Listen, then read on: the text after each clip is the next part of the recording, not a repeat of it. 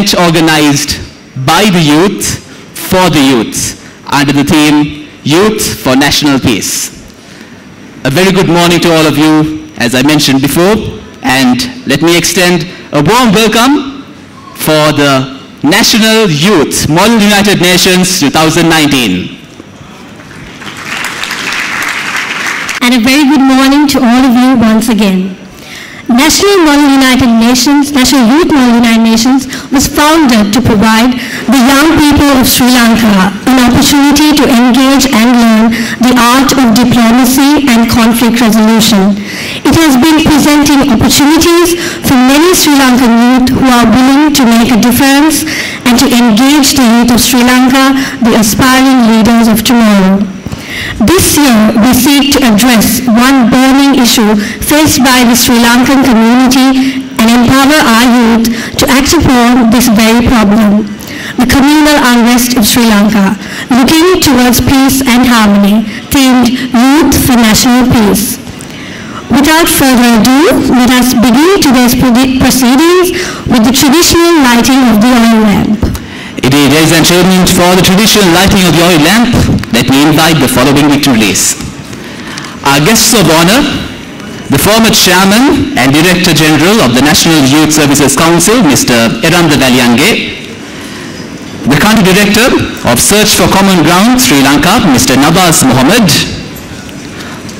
along with the following members of the secretariat the founder president of the National Youth Model United Nations in South Market Maka, Charge d'Affaires Sierra Amarasiri, Secretary General Onela Hisham, Secretary General Outreach Asif Moju, Under Secretary General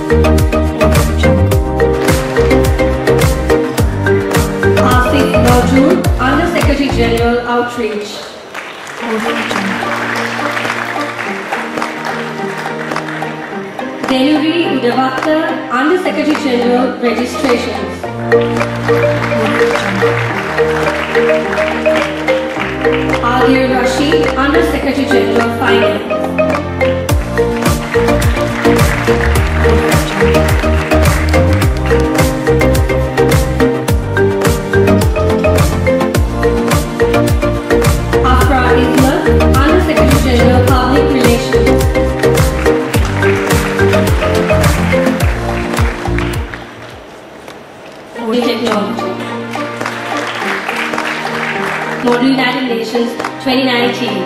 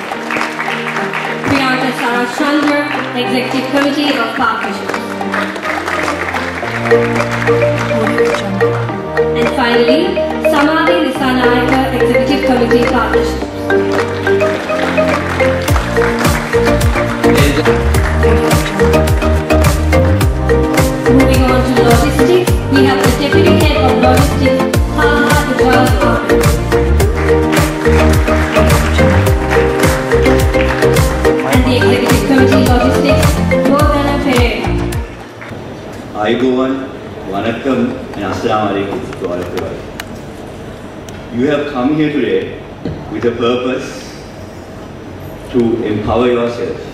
And we have come here today as your organizing committee to that very, very same purpose. Why do we engage in Model United Nations? We as a country, since post-independence, since 1948 until right now, if someone asks you the question, are you happy about the history of our country? What would be your answer? Yes, there are happy moments like 1996 we won the World Cup. But then again, we saw in 1955 certain members of our country lost their right to speak in their own language. In 1971, we saw class struggles. In 1983, we saw our own citizens fighting each other on the basis of religion and ethnicity. In 1989, again the class struggles. And in 2014, 2018, we saw skirmishes of religious violences. Let me give you a small example of one of the incidents which happened in Uttaram in 2018. There was a store in the Uttaram town which was burned down by two young people who came in a motorbike and, and threw an arson attack. Now, when I say young people, you must be thinking it might be two young chaps, 25 years old, 26 years old, but no. These were two Kunchi Mallinas who were 15 and 14 who came in a bike and showed an arson attack. Now, who puts this hatred to our young generation? Who nurtures this vice in our young generation? It's a question you and I seriously need to discuss. So, moving forward as a country, MUN will teach you diplomacy and dialogue, how to come to the table to solve your problem, how to come to the table to solve issues of national importance. Because our history shows us that whenever there is a problem, young people have moved and resorted to violence. So we need platforms such as MUN across our country so that young people can nurture the skills of diplomacy, dialogue and conflict resolution. NYMUN started in 2016. We had our first conference in Colombo and since then we've been doing NYMUN for four successive years. Each year, our committee, our chairs, we go around the country, nine provinces, and get young people to organize MUNs. Let me give you one success story. I think some of uh, the delegates from Puttalam are here. Uh, they organized the Puttalam Youth Model United Nations, which we supported them back in 2017, and they organized it consecutively as well. So this is the homegrown MUN we are looking forward to establish in this country. Finally, after two days here at the Hilton, you will be discussing issues from Israel, Palestine, to the Kashmir issue, to the reconciliation process in Sri Lanka. My fervent hope is that when you leave these chambers, you become a better version of yourself. And with that thought, in a 10 to 15 years time, let me see some of you working for international security at the United Nations. Let me see some of you become lawyers working to make sure the world is a more fair and a just structure. Work, let me, let's, let's meet at the judicial structures at the ICJ. And to some of you, I say, let's meet at the Parliament of Sri Lanka. Let's meet at the economic centers of the world, trying to make this world a better and a fairer place. I hope you have two good days and hope you have good memories as well. Thank you very much. Indeed, ladies and gentlemen, as Insaf mentioned, let us meet one another as future leaders of our country and future leaders of planet of our world.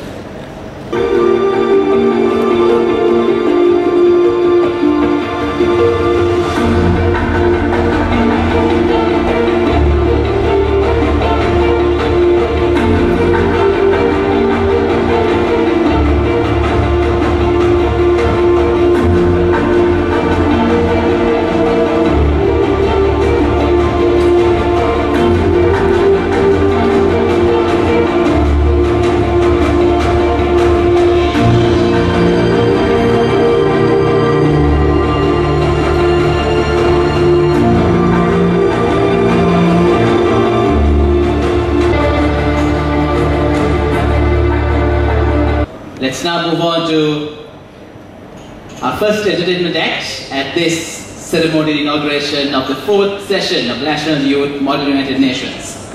Ladies and gentlemen, please welcome on stage the Sri Lankan traditional dance presented to you by the students of Asian Grammar School.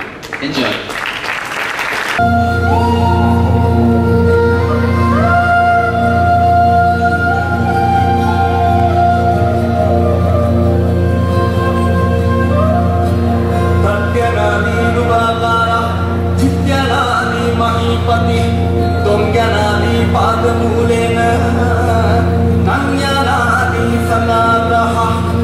तकारो मेघनादस्य चिकारो अस्वनादकः त्वङ्कारो कुम्भरी जैव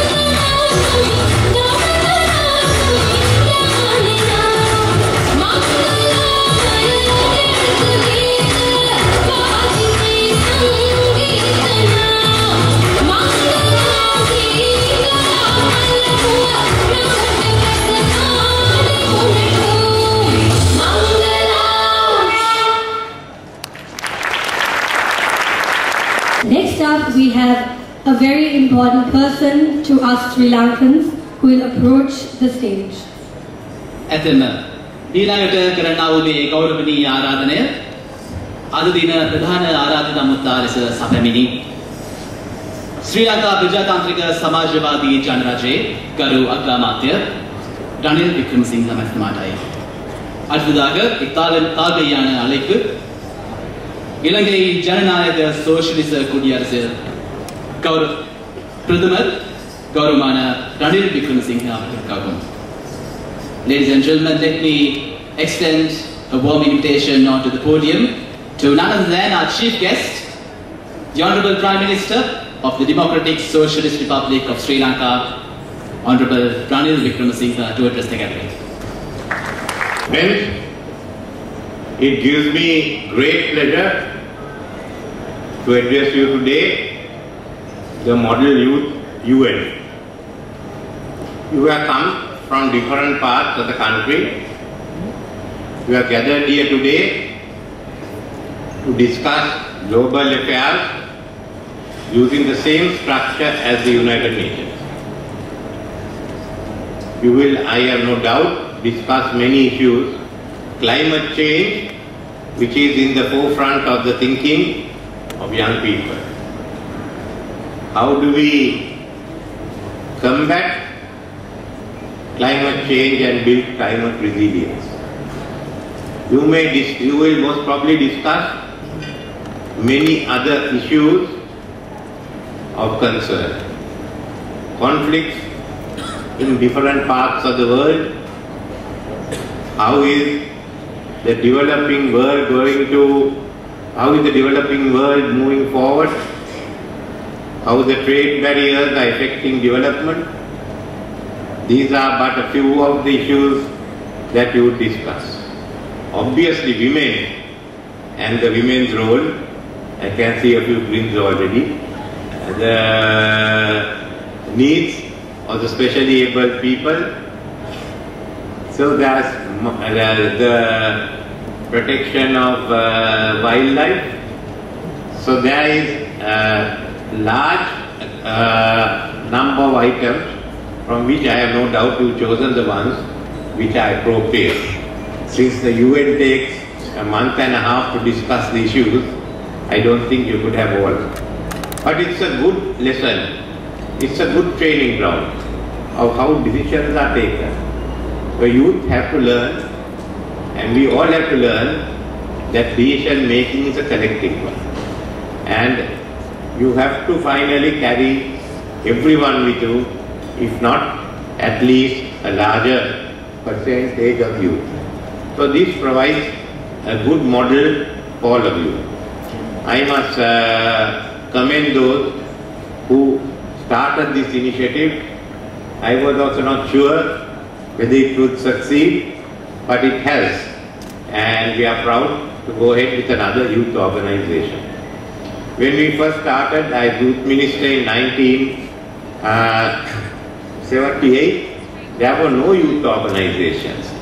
So we had to build the youth clubs. We had to help you to be, help other youth organizations. We had the Yonpura, we had other organizations. Today I see uh, more and more youth organizations are coming in. In that way I must say the Lions, Rotary and all also helped. Initially there has been uh, Sarvodaya which did at the village level but in different ways youth groups have come up. And we see these ad hoc youth groups which play a very important role in our villages. Certainly those who organize religious festivals, if you look at that, whether it be Buddhist or whether it be Christian, you find or Hindu, the youth play a leading role in organizing these youth, uh, these religious festivals. Come Sinhala New Year, and all the races are being organized and the events are being organized by youth. If there's a disaster in the vicinity, if there's a uh, funeral in the area, you'd find the youth come forward. So youth play a leading role even in the day-to-day affairs of the village. And uh, that is what we've been able to achieve since the Youth Council uh, started its youth promotion program in 1978. So I'd like, therefore, to uh, commend you. But you are youth leaders, so there are other areas that have to be covered. What are we facing today? We are facing a world in which the youth want a say. You see in some areas youth protest because they have not had a say. Uh, on the other hand, how are you going to take part? Youth having a say doesn't mean only youth contesting uh, elections. That's only one group that is interested in contesting elections. You all have a specific cause.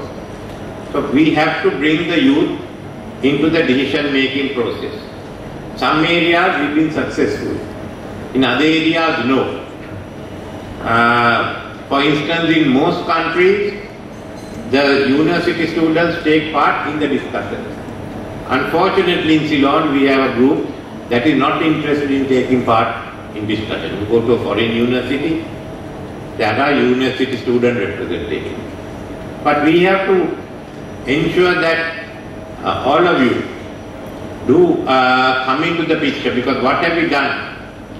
From 2015 onwards, we've just laid a basic framework.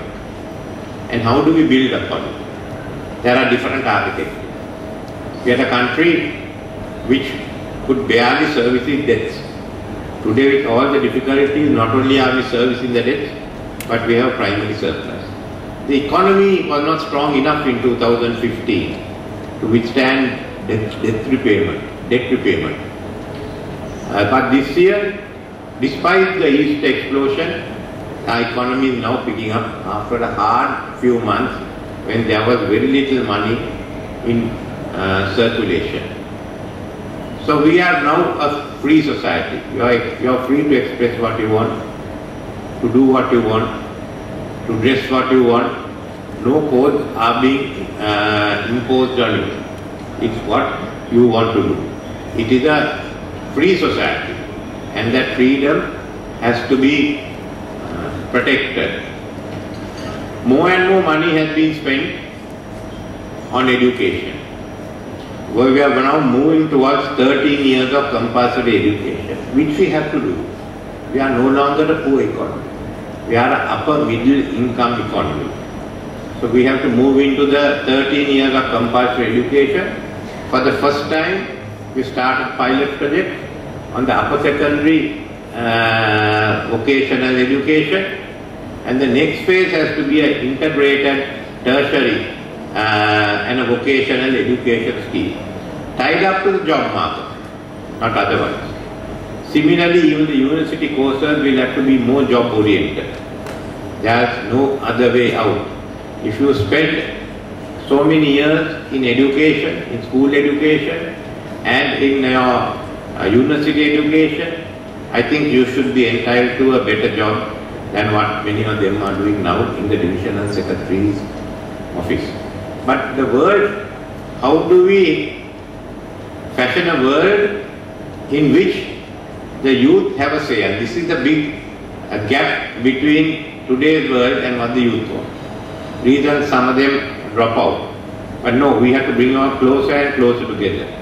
So all these mechanisms are to help you. And now, because what, what is the world you want? How are you going to take part in it? What we are doing is just the basics, doing the health. We've I done a fair amount of money has gone into the uh, village infrastructure, the programs. Now we have to think of the future. Firstly, do you want to live in a country where the debt is carried from you to your children and to their children? Or do you want it to stop? Do you want to live in a country in which the imports are more than the exports every year? That means you are borrowing more and more and more. Or do you want to live in a nice country? Maybe your idea is Dubai, maybe your idea is Singapore, maybe your idea is Japan. But do you learn to live in a nice country? Maybe Thailand, maybe Malaysia, doesn't matter. Which means we have to develop. Are you ready for development? So what we have to do in the next five years is to convert our economy into export-oriented economy. And we must earn as much foreign exchange as we require for all the imports we make. If we do that, thereafter we can even have a surplus. So by the time you retire, your money will be worth far more.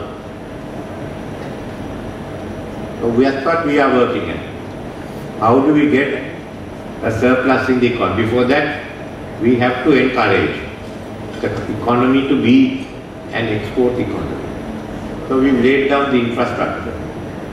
At least from Colombo to Hambantota, from Kandy to Hambantota, the Central Expressway uh, to Colombo, the Outer Circular Road, the new roads we are seeing coming to Colombo and down to Hambantota.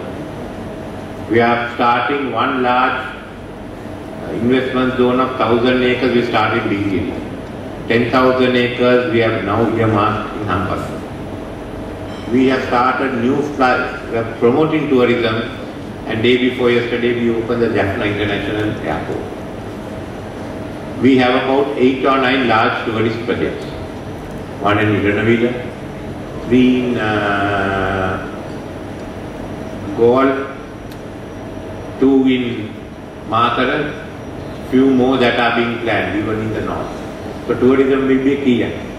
Secondly, manufacturing. But it has to be semi-automated, use of AI, IT. Certainly Sri Lanka becoming the hub of the Indian Ocean, the center of logistics. The land here become the offshore center for financial activity. That is the future we are planning. That's the future that you have to build on. That's what you have to argue on. But to do that, we also need foreign investment in foreign trade. So is there any other option? We have to modernize the agriculture and check. Is there any other option? Then what is the best way to do it? I think you've got to sit down and decide on that. Slogans are good, but you can't eat slogans. The more slogans you have, you might miss one meal. You know, even more slogans, you may only have breakfast. That's what happened to countries which have slogans. Hard work, hard decisions, unpopular decisions. So that is why I thought I'll meet here to tell you you're having these programs, leadership programs to make decisions, to make difficult decisions, to make hard decisions, and to make a decision you think is right. All your decisions will not be right. Ensure that most of them are. And I thought I'd also say a few words of the new organizations that we have to go into and like to speak in Sinhala. अपि एकदाश्रम से हत्या के तरुण सेवा सभा आरंभ कर අද තරුණ සංවිධාන ගණනාවක් තියෙනවා. ගමේ මට්ටමේ ඉඳන් පන්සලේ පල්ලියේ ඉඳන් ජාතික මට්ටම දක්වා, ජාත්‍යන්තර මට්ටම දක්වා. අද මේ සංවිධානයේ ඒ සඳහා විශේෂයෙන්ම අපි යොදවන සංවිධානය. මේ සංවිධානයේ නායකත්වය ගැන පුහුණුවක් දෙනවා. නායකත්වය ගැන පුරුදු කරන්නේ මොකද මේ අනාගතය ඔබේ. දැන් මෙතන තියෙන ප්‍රශ්නේ තමයි මොකද තරුණයන් හිතන අනාගතය. අද අපි මෙතන කතා කරන්නේ මේ රටේ කතා කරන්නේ තරුණයන් හිතන අනාගතේ නෙමෙයි. වැඩිහිටියන් හිතන අනාගතය. එහෙනම් දැනට විකල්ප තුනක් තියෙනවා මොකද්ද වැඩිහිටියන් හිතන අනාගතය කියන්නේ. ඒ මොකද තරුණයෝ හිතන්නේ අනාගතය කියන්නේ. අපි අනාගතයේ තියෙනවනේ මේ වැඩිහිටියන්ගේ අනාගත වලින් තෝරනවද? නැත්නම් ඒක තරුණයන් හිතන අනාගතයකුත් ගේනවා. කොහොමද ඒ වැඩ කටයුත්ත කරන්නේ? අපි ඔක්කොම ජීවුන රටක ජීවත් වෙනවා. ඩුබායි වෙන්න පුළුවන් සමහර විට සිංගප්පූරු හිතනවා, ජපානය හිතනවා, මලේසියාව හිතනවා, තායිලන්තය හිතනවා. අන්න එහෙම ජීවත් වෙන්න බලන්න. එහෙනම් ආර්ථික වශයෙන් දියුණු වෙන්න. සමාජ වශයෙන් දියුණු වෙන්න. අපිට දැන් අවස්ථාව ලැබිලා තියෙනවා දියුණු රටක ආර්ථිකයක් ඇති කරගන්න. අද අපි උසස් මධ්‍යම ආර්ථිකයක් දුප්පත් ආර්ථිකයක් නෙමෙයි. අවුරුදු 13ක පාසල් යනවා. දැන් තියෙන තාක්ෂණ අපේ වෘත්ති අධ්‍යාපනයේ දියුණු කරා.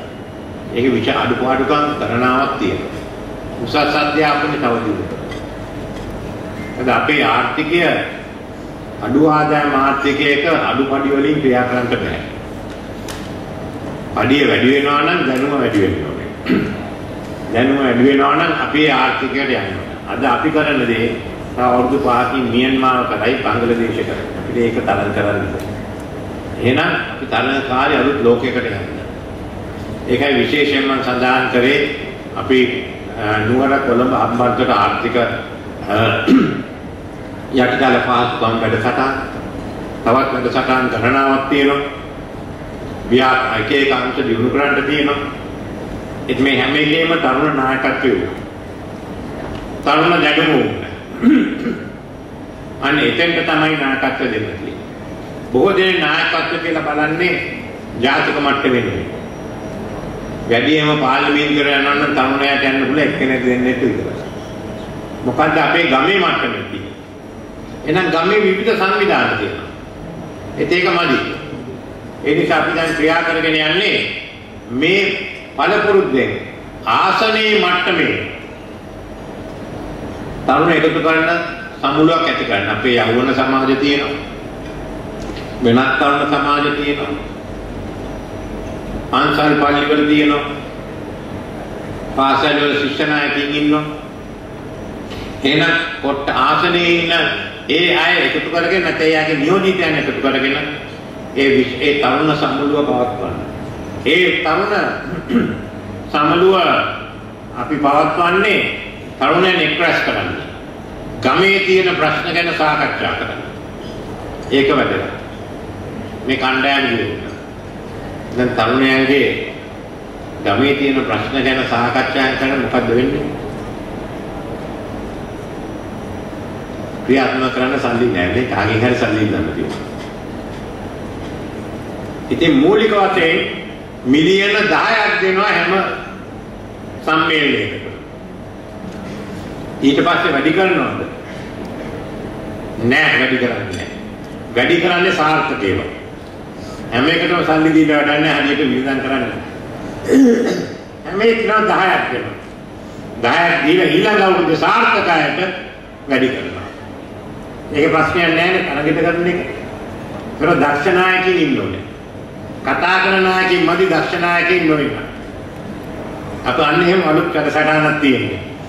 ඉතින් මම කැමති මෙතන කාණ්ඩා දෙකක් මෙතන තියෙන පුහුණුව එක්සත් ජාතීන්ගේ සමුළු වැඩ වැඩි කරන්න. අපිට ලබලා දෙන්න. වෙලා තියෙනවා නම් කොහොමද මේ තරුණ සම්මේලන ගෙනියන්නේ? කොහොමද තමන් කරන වැඩ අනුව වැඩිපුර මුදල් දෙන්නේ කියලා අදහස් තියකුත් අපිට ලබලා දෙන්න. මම ඊට වඩා දීර්ඝ වශයෙන් කතා කරන්නේ ඔබ සියලු දෙනාටම ස්තුති කරමි. මගේ වචන සෝත්‍රය මම මේන් අවසන් කරනවා. The best delegation shield, ladies and gentlemen, the National Youth Diplomacy Shield.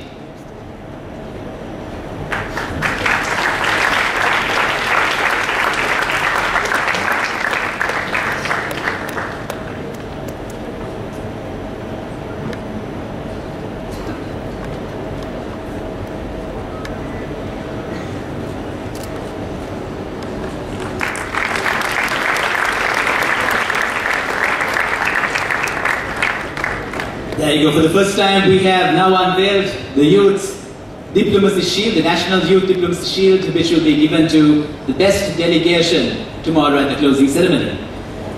Let me now also invite the Secretary General will now present the token of appreciation to our chief guest, Honorable Ranil Wickremesinghe, for taking his time off the busy schedule and for his presence at this esteemed gathering. Invite on stage our guest of honor, Mr. Randa Weliange. And to present the token of appreciation, of course, let me invite the Secretary General, Onela Hisham.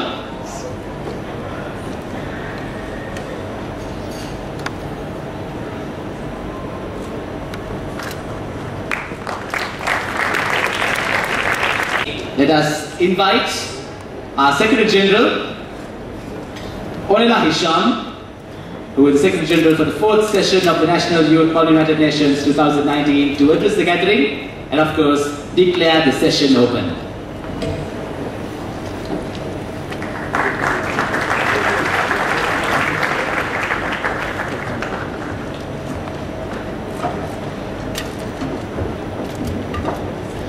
A warm welcome to all of you and a very good morning.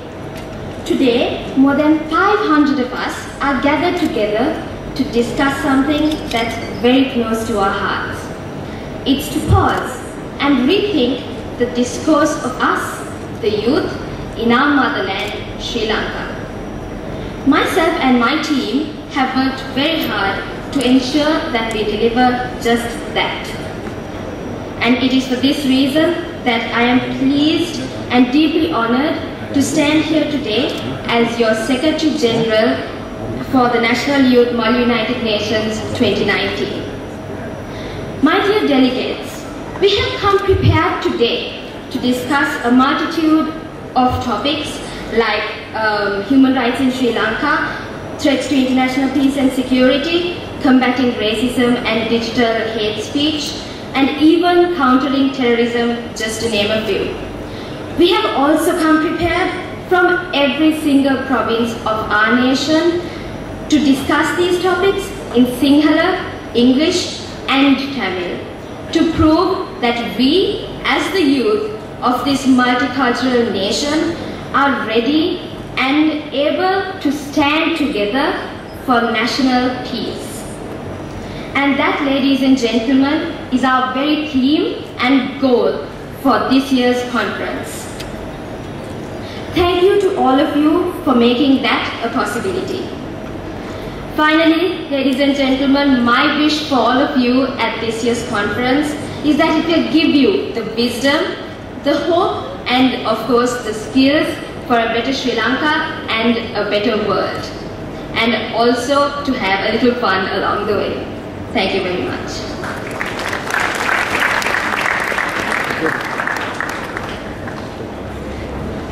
Let me now declare this fourth session of the National Youth Model United Nations Conference officially open.